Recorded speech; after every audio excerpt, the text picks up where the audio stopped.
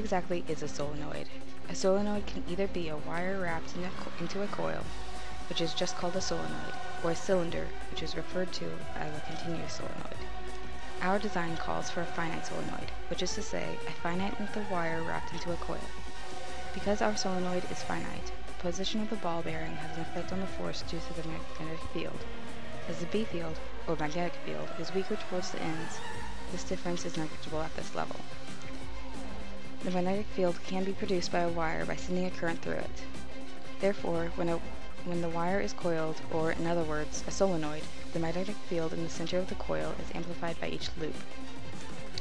As the wire coils, the magnetic field, which is always perpendicular to the wire, bends as well, and through this, the magnetic fields build on one another, creating an even stronger field.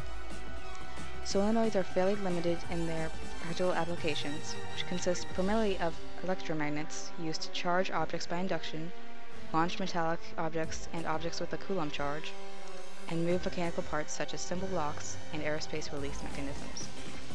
Electromagnets work due to the magnetic field pushing all of the electrons to one side of a metal object. When another object is placed near the negative end of the electromagnet, the electrons in the object are repelled. Therefore, if a wire or some other grounding device is in contact with the object, the electrons will be pushed into it, and when the ground is removed, the object is...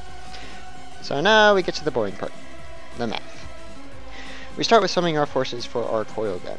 Using Newton's second law, we see that the net force equals mass times acceleration. Well, the forces acting on this, uh, gravity and a B field. So now we move on. Our force of B field minus the force of weight of our ball bearing equals the mass of the ball bearing times its acceleration. We found that our ball bearing is only about 6 grams. Convert that into kilograms, and voila, our force of weight is done.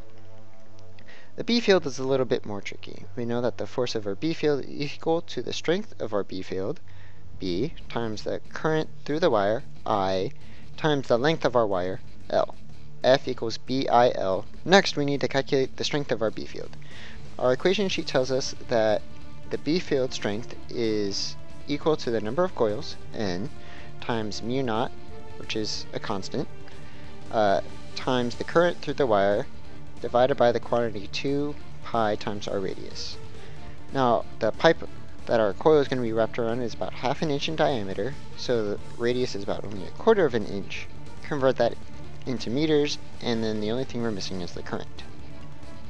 Ohm's law tells us that current is equal to the voltage divided by the resistance. Assuming that we have a full charge on our capacitors, and they're all hooked up in parallel, we know that our voltage uh, total is equal to uh, 1320 volts. Assuming we have a full charge on all of our capacitors and they're hooked up in parallel, we know that our voltage total is equal to 1320 volts. Because we know that we have no resistors in our circuit at all, at least none on the firing end. The only thing we need to worry about is internal resistance. Now the equation for our internal resistance of our wire is equal to rho times the length of our wire divided by the cross-sectional of our wire square the radius of our wire, multiply by pi, and we have our area. Multiply all the numbers together, we have our resistance. So now we have our resistance, here's our voltage, 1320 volts. Divide that by, uh, divide the 1320 volts divided by our resistance, and we get our current to be pretty darn high. For those who care, it is not the voltage that kills you, it's the current. It takes a total of 10 milliamps to kill you. So as you can tell, this is incredibly dangerous stuff. Now with our current calculator, we can calculate the strength of our B field. We get our take mu naught times our number of coils times our current divided by 2 pi r, and we get the strength of our B field. Multiply this number by all of our current and the length of the wire, and we get our force at the B field. Subtract this from the weight of our ball, divide the mass of our ball bearing, and we get a really high acceleration.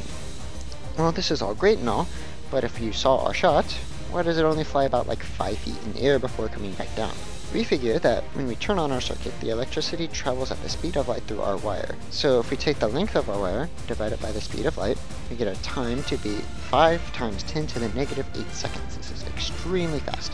Take this number, takes our time, times our acceleration, and we get our final velocity.